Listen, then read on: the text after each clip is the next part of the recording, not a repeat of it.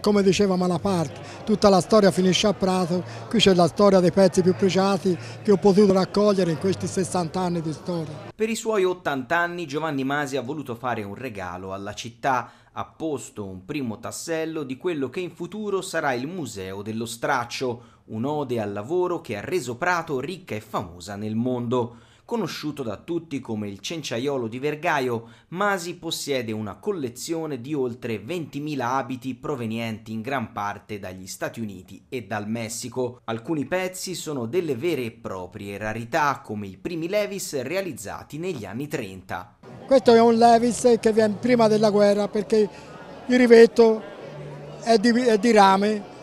Quando scoppiò la guerra mondiale nel 44 e 45. Lo Stato americano vietò di mettere il rivetto di rame perché il rame serviva per fare le munizioni.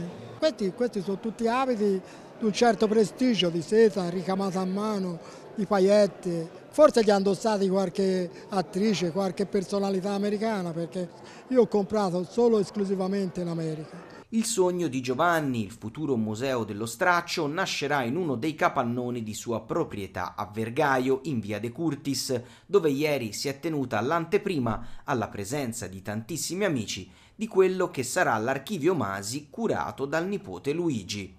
Sì, questa è un po' la storia della mia famiglia, mio padre e mio zio hanno cominciato subito nel, primo dopoguerra a lavorare gli stracci e in seguito gli indumenti usati, poi la mia generazione è entrata nel mondo del lavoro, ho cercato di mantenere le radici della famiglia e ora stiamo esponendo dei capi che negli anni abbiamo conservato in modo molto minuzioso. L'amore per il lavoro di Cenciaiolo è pari solo a quello per la sua città. Giovanni Masi infatti è l'ideatore del premio Santo Stefano per le aziende virtuose del distretto ed è un instancabile animatore di mille iniziative per i meno fortunati. Adesso con questo museo consegna a Prato la memoria di un'attività che ha reso grande l'ingegno imprenditoriale pratese.